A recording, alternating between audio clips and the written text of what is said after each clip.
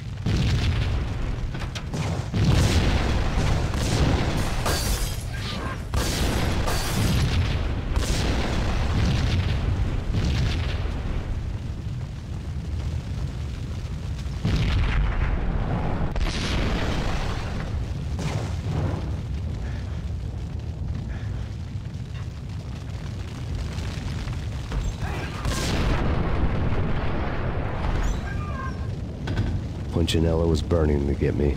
The feeling was mutual. He was trying to put out my flames with gasoline.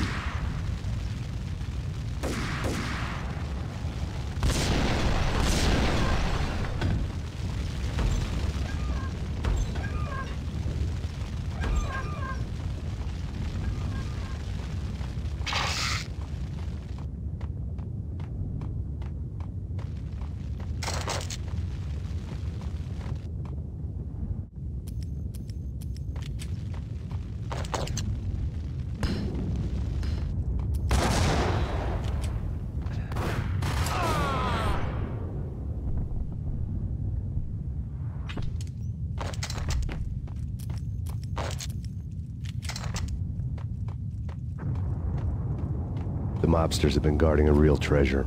The way out of this disco inferno. There he is!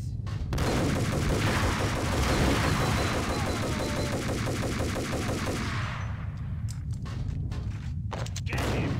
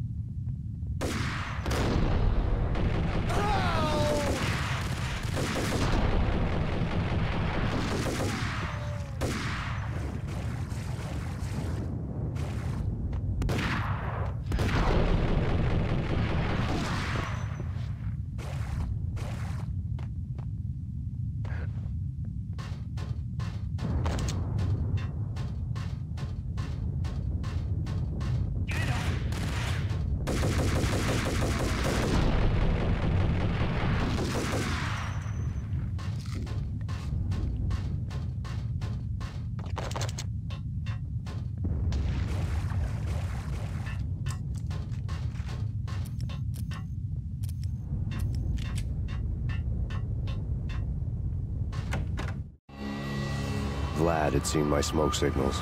The Mercedes was revving to go, almost drowning out the Banshee well at the sirens. You coming? We'll drop you off at the Punchinello Manor. Sounds good to me. When this is over, look me up. I could use a professional like you. I'll keep that in mind.